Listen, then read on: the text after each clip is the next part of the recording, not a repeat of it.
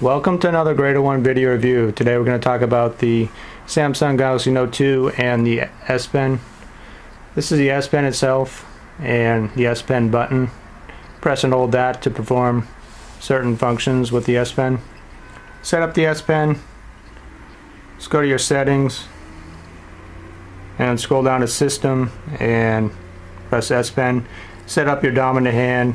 You can set up a sound when it attaches, detaches can have it automatically open up a pop-up note when you pull the pen out of the holster. Battery saving mode, an S Pen keeper which makes a sound when the when you walk away with your phone without the pen in the holster. Air view is kind of like a hover mode where you can perform certain tasks like scrolling just by hovering the screen or preview messages just by hovering over the message. You can have it make a sound as feedback quick command settings. It has several different quick commands that are already set up.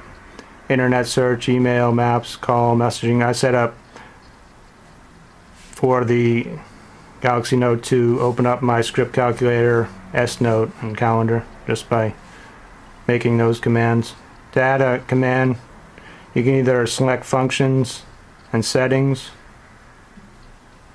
or you can select an application to open. And select whatever application you want. And then create your gesture. That's the camera so I'll just make a C for the camera.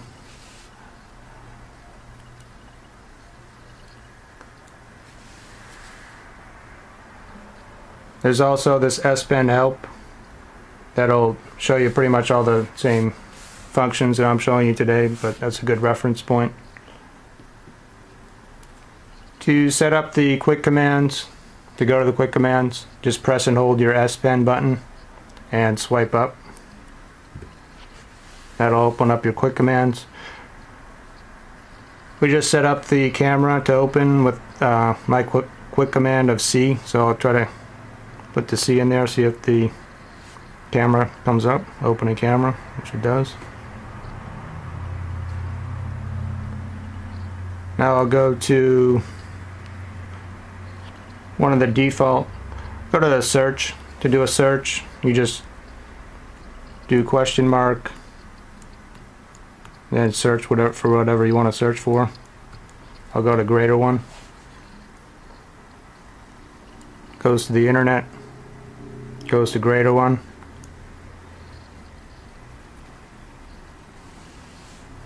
Now, if you want to go back, a lot of people have said, well, you can't press the back button or menu button on this.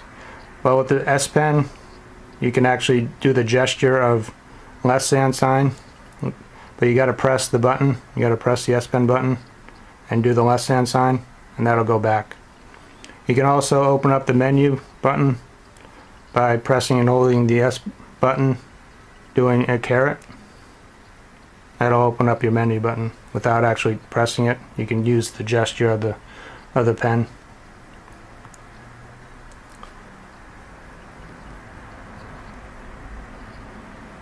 Like I said, there's a hover mode. You can scroll easily here up and down without actually touching the screen. You can make a screenshot by pressing and holding the S button and pressing and holding the screen. That'll make a screenshot. And you can crop it.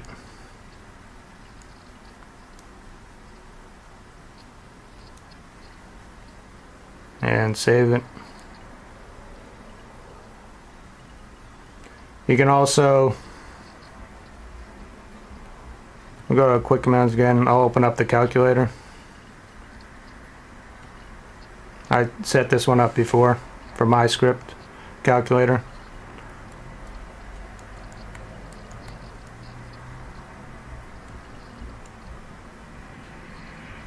And if you just want to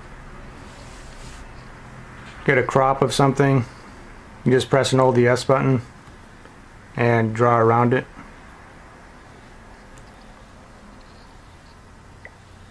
And then you can save it in your scrapbook, S note, email, messaging, etc.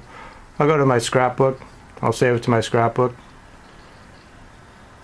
And like I said, I set up before a quick command to go to S Note. So I'll press and hold the S button. And this will bring up my quick command. And I set up an S for opening up S Note. Go to my scrapbook. And there's my new crop that I just made. And you can copy it, cut it, delete it, etc. Like I said, you can press and hold this for your back button, your S button to go back.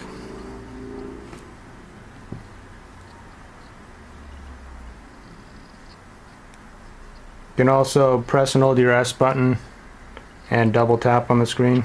That'll bring up a quick note to uh, you need to make a quick note anywhere.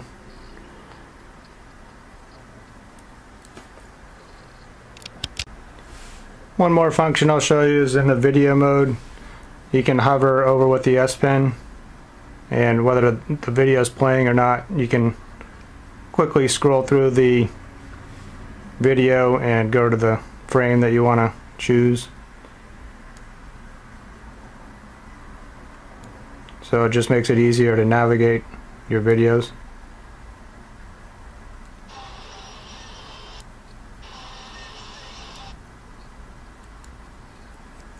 That's about it. That's the Samsung Galaxy Note 2 and the S Pen functions.